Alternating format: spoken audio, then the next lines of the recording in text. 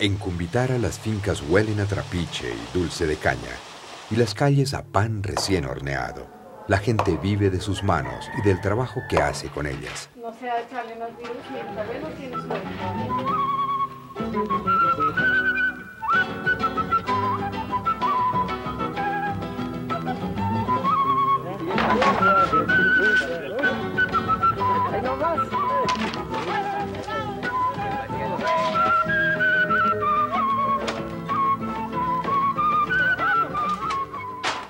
La vida cotidiana parece haberse detenido antes de la llegada de la luz eléctrica.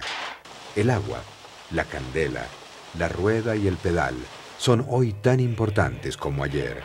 Solo en las noches, durante tres horas, el pueblo se ilumina y entra al siglo XX gracias a una planta Pelton que construyó la comunidad.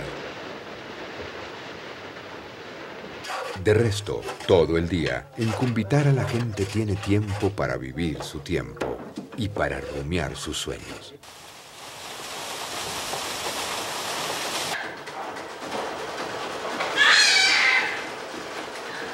Nada los ha echado para atrás, ni las dificultades materiales, ni las necesidades espirituales.